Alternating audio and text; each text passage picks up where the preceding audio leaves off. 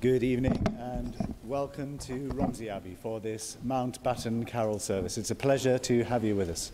Special welcome to our mayors, Councillor Alan Dowden, Mayor of Test Valley, and also to Councillor Neil Gwynn, Councillor of Romsey. It's a pleasure to have you with us. Welcome one and all. Uh, there will be opportunity for applause at the end of the service, uh, but it is a service and it will flow quite naturally. Uh, let me begin by a prayer. Thank you. Heavenly Father, we thank you for these children and we thank you for their gifts, their gifts as musicians. Pray your blessing upon them this evening, that they will be blessed in their fellowship with one another, that they will be blessed in their studies, and that they will be blessed this Christmas time. In Jesus' name, Amen.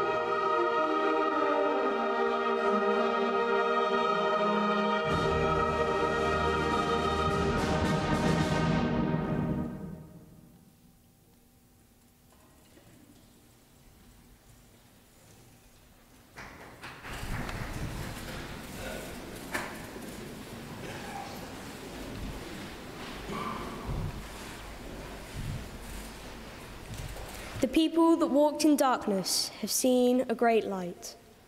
They that live in the land of shadow of death, upon them hath the light shined. For unto us a child is born, unto us a son is given, and the government shall be upon his shoulder.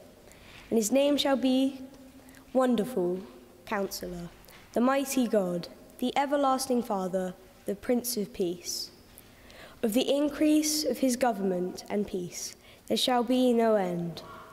Upon the throne of David and upon his kingdom to order it, and to establish it with judgment and justice from henceforth, even forever. The zeal of the Lord of hosts will perform this. Thanks be to God.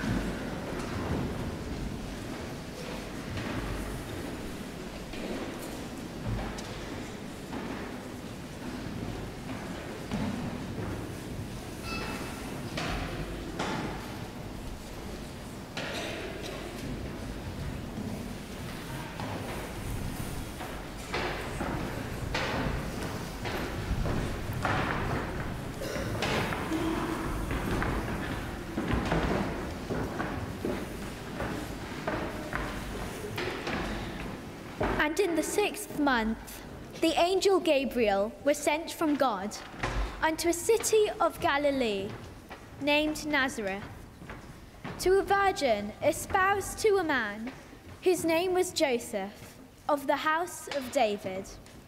And the virgin's name was Mary. And the angel came in unto her and said, Hail, thou that art highly favored, the Lord is with thee. Blessed art thou among women. And when she saw him, she was troubled at his saying, and cast in her mind what manner of salutation this should be. And the angel said unto her, Fear not, Mary, but thou hast found favor with God. And behold, thou shalt conceive in thy womb, and bring forth a son, and shall his name be called Jesus. He shall be great, and shall be called the Son of the Highest. And the Lord God shall give unto him the throne of his father David and he shall reign over the house of Jacob forever, and of his kingdom there shall be no end. Then said Mary unto the angel, How shall this be, seeing I know not a man? The Holy Ghost and then the angel answered and said unto her, The Holy Ghost shall come upon thee, and the power of the highest shall overshadow thee. Therefore, also that holy thing which shall be born of thee shall be called the Son of God. And behold thy cousin Elizabeth. She hath also conceived a son in her old age, and this is a sixth month with her, who was called barren. For with God, nothing shall be impossible. And Mary said, Behold the handmaid of the Lord, be it unto me according to thy word.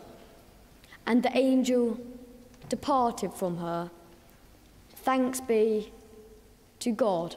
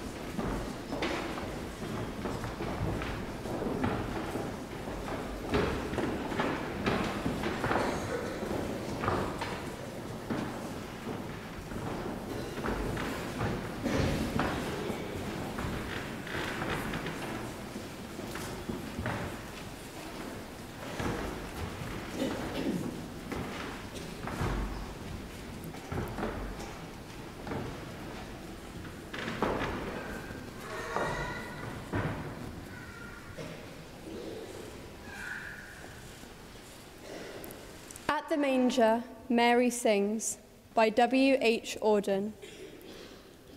Oh, shut your bright eyes that mine must endanger with thy watchfulness. Protected by its shade, escape from my care. What can you discover from my tender look but how to be afraid? Love can but confirm the more it would deny. Close your bright eye. Sleep. What have you learned from the womb that bore you, but an anxiety that your father cannot feel? Sleep. What will the flesh that I gave do for you, or my mother love, but tempt you from his will? Why was I chosen to teach his son to weep? Little one, sleep. Dream. In human dreams, earth ascends to heaven, where no one need pray nor ever feel alone. In your first few hours of life here, or have you chosen already what death must be your own? How soon will you start on the sorrowful way? Dream while you may.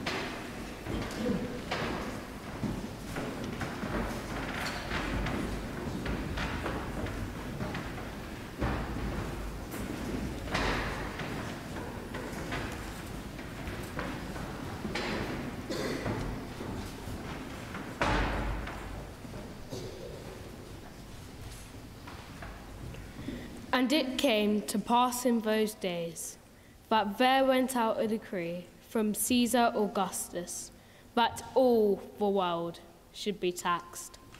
And all went to be taxed, every one into his own city.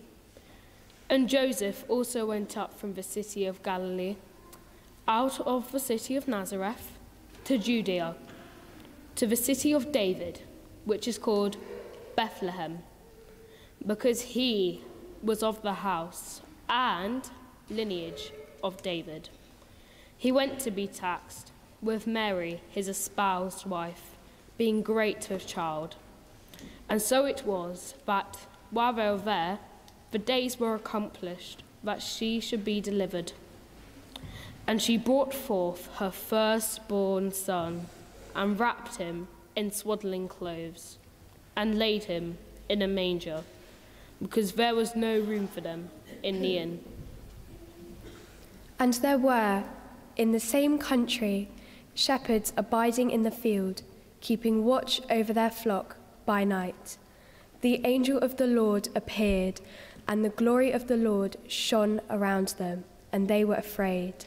And the angel said unto them, Fear not, for I bring you good tidings of great joy, which shall be to all people. For unto you is born this day in the city of David a Saviour, which is Christ the Lord. And this shall be a sign to you. You shall find the babe wrapped in swaddling clothes, lying in a manger. Suddenly there was, with the angel, a multitude of the heavenly host, praising God and saying, Glory to God in the highest, and on earth peace, goodwill to all men. Thanks be to God.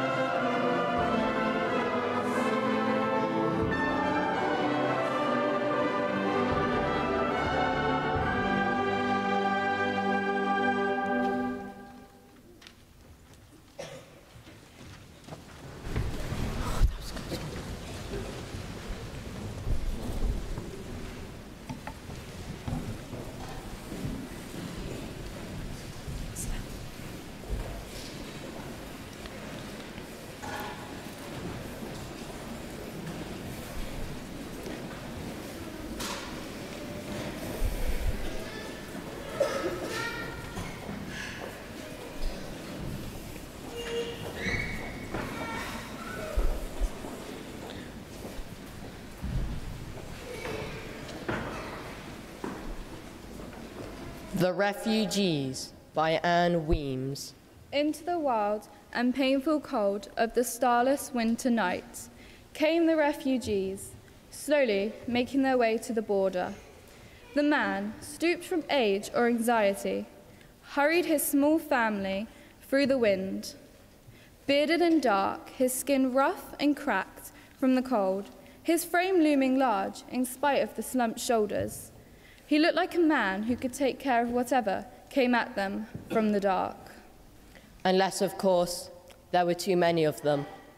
One man he could handle, two even, but a border patrol, they wouldn't have a chance.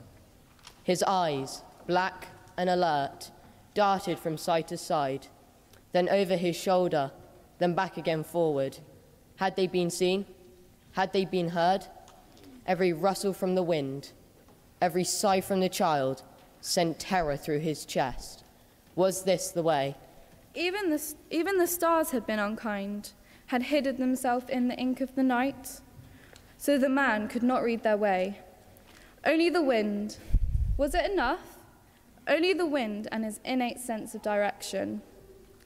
What kind of cruel judgment that would be to wander in circles through the night or to safely make their way to the border, only to find the authorities waiting for them. He glanced at the young woman, his bride, no more than a child herself. She nuzzled the newborn, kissing his neck. She looked up, caught his eye, and smiled. Oh, how the homelessness had taken its toll on her. Her eyes were red, her young face was lined, her lovely hair matted from inattention, her clothes stained from milk and baby, her hands chapped from the raw wind of winter. She'd hardly had time to recover from childbirth when word had come that they were hunted, and they fled with only a little bread and the remaining wine and a very small portion of cheese. Suddenly, the child began to make small noises. The man drew his breath in sharply. The woman quietly put the child to breast. Fear, long dread-filled moments. Huddled, the family stood still in the long silence. At last, the man breathed deeply again. Reassured they had not been heard, and into the night continued Mary, Joseph, and the babe.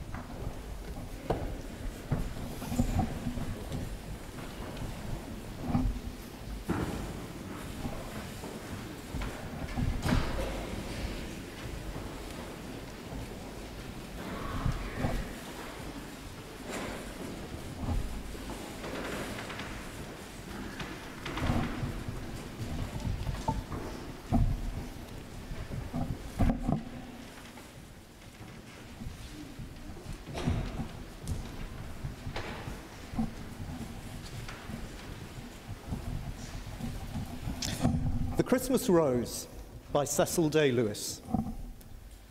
What is the flower that blooms each year in flowerless days, making a little blaze on the bleak earth, giving my heart some cheer? Harsh the sky and hard the ground, when the Christmas rose is found, look, its white star, low on earth, raise a vision of rebirth. Who is the child that's born each year? His bedding, straw, his grace enough to thaw my wintering life and melt a world's despair. Harsh the sky and hard the earth when the Christmas child comes forth. Look, around a stable throne, beasts and wise men are at one. What men are we that year on year we Herod wise in our cold wits devise a death of innocence, a rule of fear? Hushed your earth, full starred your sky, for a new nativity be born in us, relieve our plight, Christmas child, you rose of light.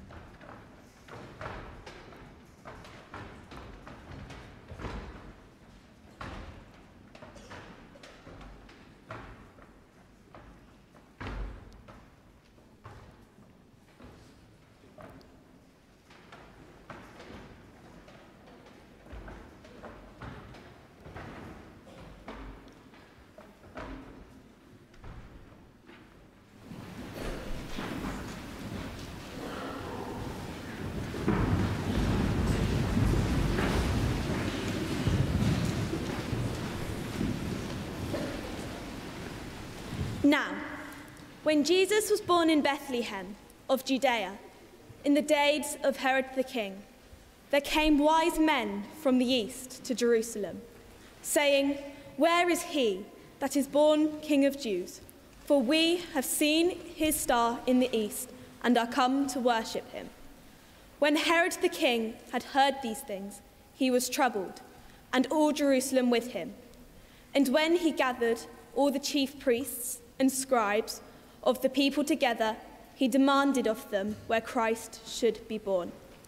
And they say to him, In Bethlehem of Judea, for it is written by the prophet, And thou, Bethlehem, in the land of Judah, are not least among the princes of Judah, for out of thee come a governor that shall rule my people Israel. Then Herod, who had secretly called the wise men, inquired of them what time the star appeared. And he sent them to Bethlehem and said, Go and search diligently for the young child, and when you have found him, bring me word again, that I may come and worship him also. When they had heard the king, they departed, and the star, which they saw in the east, went before them till it came and stood over where the young child was. When they saw the star, they rejoiced with exceeding great joy. And when they came into the house, they saw the young child with Mary, his mother, and fell down and worshipped him. And when they had opened their treasures, they presented unto him gifts gold and frankincense and myrrh. And being warned by God in a dream that they should not return to Herod, they departed into their own country another way. Thanks be to God.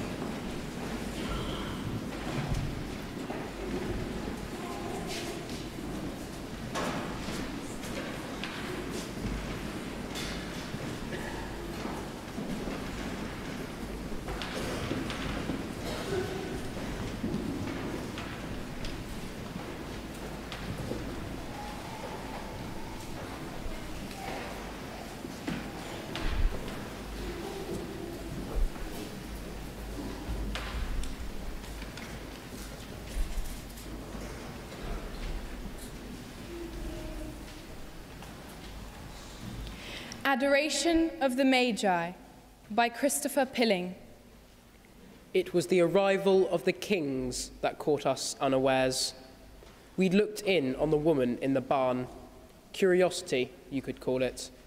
Something to do on a cold winter's night. We'd wished her well. That was the best we could do. She was in pain. And the next thing we knew, she was lying in the straw, the little there was of it, with this baby in her arms. It was, as I say, the kings that caught us unawares. Women have babies every other day, not that we are there. Let's call it a common occurrence, though, giving birth.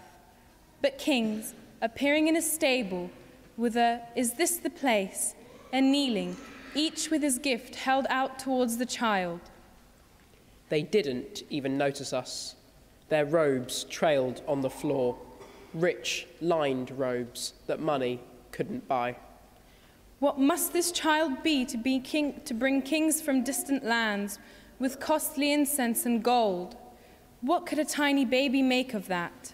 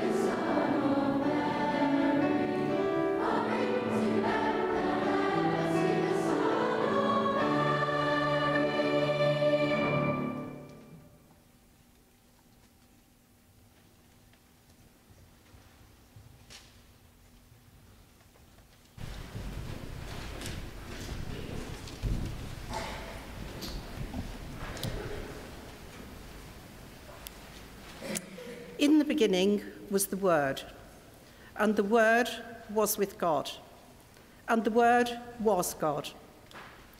The same was in the beginning with God. All things were made by him, and without him was not anything made that was made.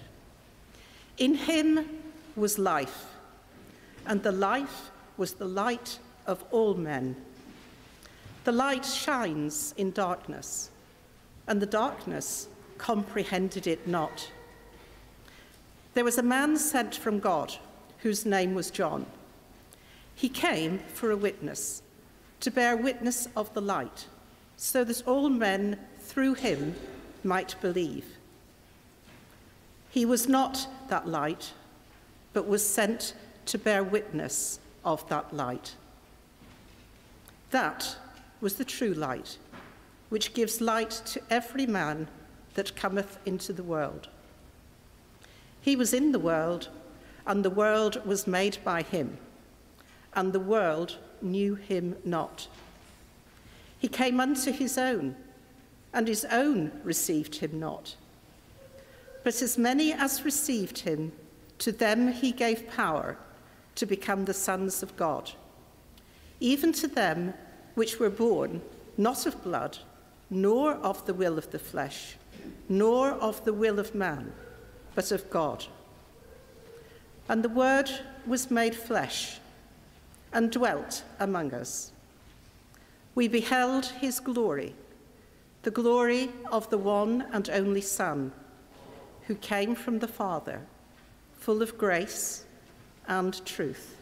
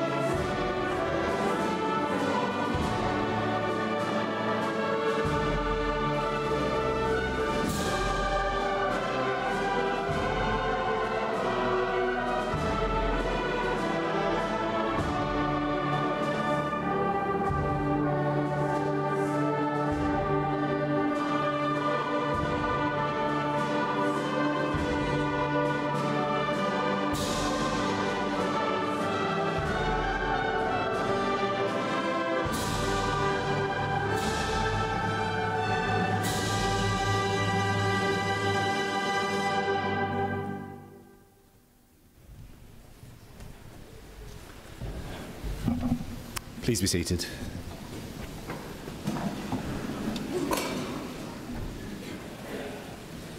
Well, as ever, it's been an absolute pleasure to host Mountbatten School here again at Romsey Abbey. The performances and the conduct of the students is a real credit to the school, and we do always look forward to hosting their concerts and services. And um, so I think we'll begin with a, a round of thanks. First of all, thanks to all of those who came and, and took this pulpit to read a lesson. Uh, they, they did very, very well. So show your appreciation to those who read this.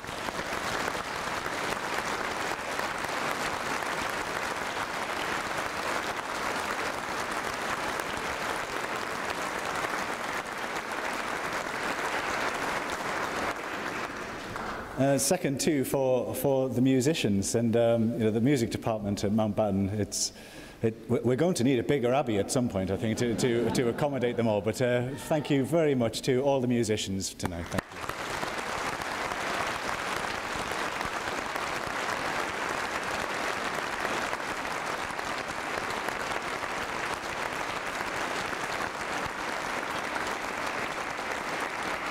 And of course to our choirs, both, both the students and the, the young at heart who, who came to sing for us too. So a round of applause for our choirs.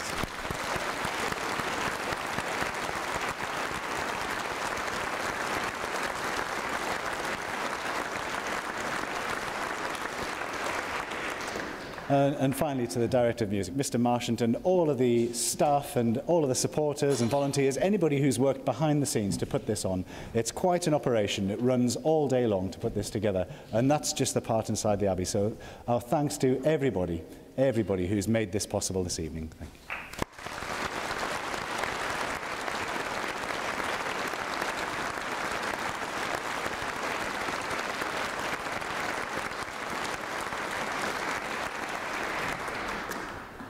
So, before we listen to our final piece of music, a final blessing.